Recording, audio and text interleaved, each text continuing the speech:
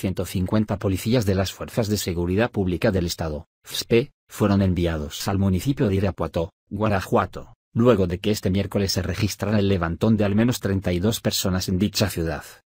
A través de sus redes sociales, Alvar Cabeza de Vaca, titular de la Secretaría de Seguridad Pública de la entidad, informó de la llegada de los 150 elementos de seguridad a Irapuato, esto por instrucción del gobernador de la entidad, Diego Sinue Rodríguez Valejo.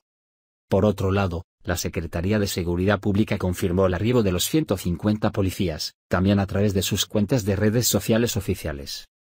Ante los hechos ocurridos en las últimas horas en Almohadía Irapuato, la Almohadía SPEG envía la presencia permanente de 150 elementos de las Almohadías SPEG para apoyar en las labores de seguridad, señaló la dependencia estatal. El arribo de los 150 policías de la FSP, se realizó durante la noche de este miércoles 4 de diciembre. Mientras tanto, la Secretaría de Seguridad Ciudadana de Irapuato y autoridades estatales y federales atienden e investigan la presunta privación ilegal de internos de un centro de rehabilitación ubicado en dicha localidad. En un comunicado, la Secretaría de Seguridad Ciudadana informó que la madrugada de este miércoles fue recibido el reporte de una intrusión a un anexo, ubicado en la colonia San Juan de Retana.